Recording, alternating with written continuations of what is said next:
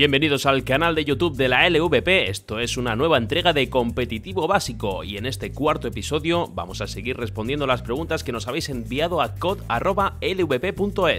Recordad que cuantas más preguntas enviéis, más largo haremos los vídeos, así que animaos.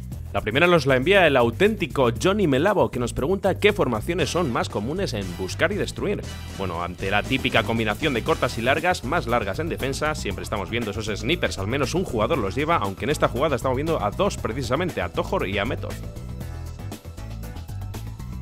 La segunda nos la trae Guillem, que aparte de escribir mal competitivo, que es con V muchacho, nos pregunta de cómo es eso de saltar y agacharse rápido, que tanto vemos hacer a algunos jugadores. Bueno, el jump shot, que es lo que estamos viendo ahora mismo, es encogerse en el aire, es decir, pulsaremos brevemente el botón de agachar y de esa forma nos mantendremos ahí. Si dejamos pulsado el botón de agachar, haremos el Dolphin Dive. Encadenamos ahora dos preguntas. La primera de Bloody Love nos pregunta que por qué no se utilizan los C4s y Alex nos dice que por qué hay fuego amigo en el competitivo.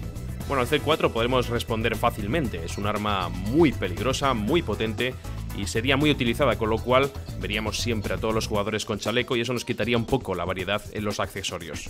Sobre el tema del fuego amigo, bueno, podemos decir que es una tradición de siempre los FPS competitivos y que es una forma más de complicarle la vida a los mejores.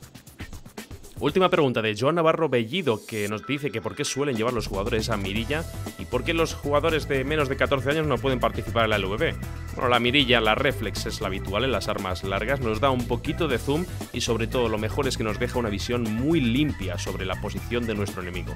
Sobre lo de los 14 años, bueno, la ley orgánica de protección de datos nos obliga a ello. Gracias por ver este competitivo básico, nos vemos en el próximo.